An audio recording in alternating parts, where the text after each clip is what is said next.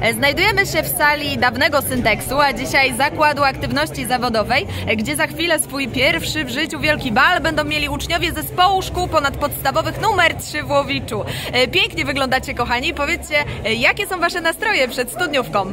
Dobre, no trochę stresu jest, ale, ale pozytywnie. Jesteśmy bardzo podekscytowa- podekscytowani tym dniem i bardzo długo na niego. Czekaliśmy. Powiedzcie, jak tam próby waszego poloneza? Czy czujecie się już pewnie w tym tańcu? E, Myślę, że tak. Myślę, że pójdzie dobrze i, i wszyscy zatańczą równo i będzie dobrze. To będzie jeden z piękniejszych polonezów w Łowiczu. Jasne. Zdecydowanie za to trzymamy kciuki, a powiedzcie, e, na jaką zabawę się nastawiacie? Do której będziecie tutaj dzisiaj tańczyć? I do białego rana, do rana.